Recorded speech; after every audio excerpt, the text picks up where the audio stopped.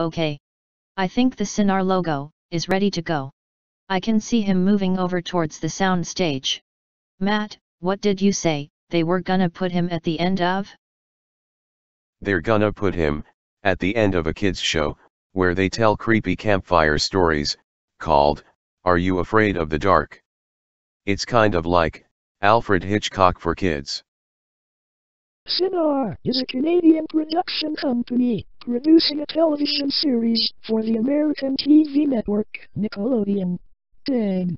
Sounds like the days when another Canadian production company made a series for them called You Can't Do That on Television.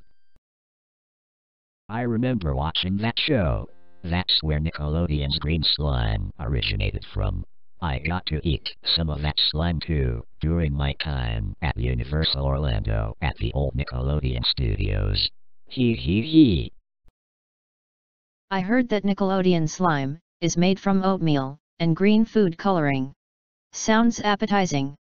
Ha ha ha ha ha. If we are ready, let's film this Cinar logo. Roll camera. Cue the Cinar logo in 3, 2, 1.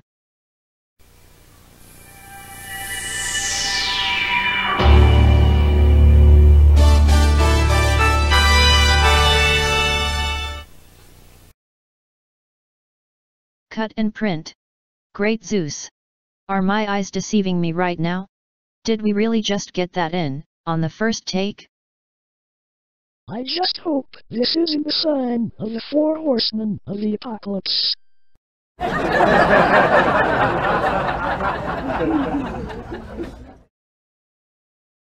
Great. It's about time that this studio got a logo right on the first take for once. I was just about to get worried that we could be here all day.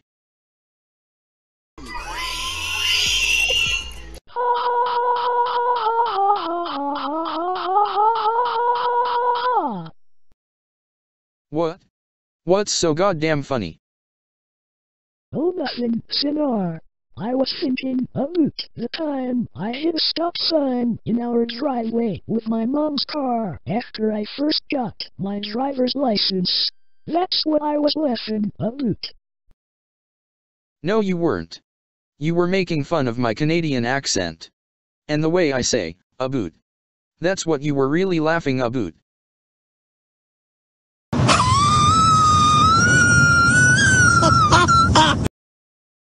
Mr. Elkins. What is it you're laughing about? I'm surprised you haven't run out of breath. Sorry, Cinar. I was thanking, about, the time, that the Silver Deke logo, was turning, Arun, to face me, at Walmart, and knocked over whole cases of beer, and broke them. He had to pay, $500, for all those beers he broke. Solidiki boo. Ha ha ha. And just like Matt, I like the way Canadians say the word dollars. They pronounce it as dollars. Just like the late Alex Trebek. Dollars, dollars, dollars, dollars. Hee hee hee. If you make fun of my accent one more time, I will pay Janet $500 to stick her boot up your asses.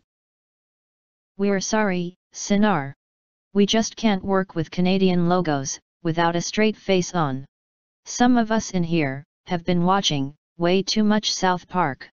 And I'm just, a boot, to ban them, from ever watching it again. Good for you, Diane. Since we have the logo finished, I'm a boot to head out. It's a miracle we got the logo done on the first try, eh? Enjoy the rest of your day. Good Lord Jesus and Dale Earnhardt Jr. I hope Justin Trudeau doesn't see this blooper reel.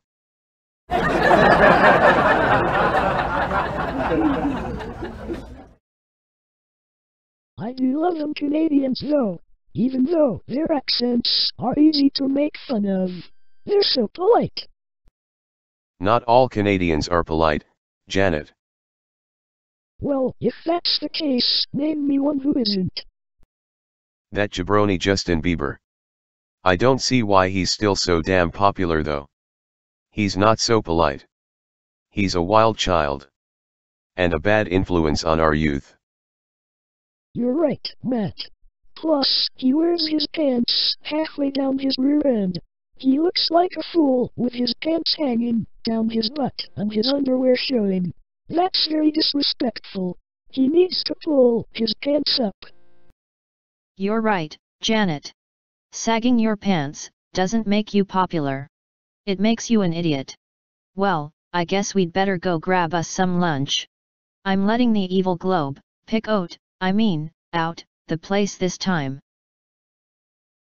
I'm taking us all to my favorite restaurant here in my Miamis. Empire Pizza. Pizza, pizza, pizza, pizza. Hee hee hee.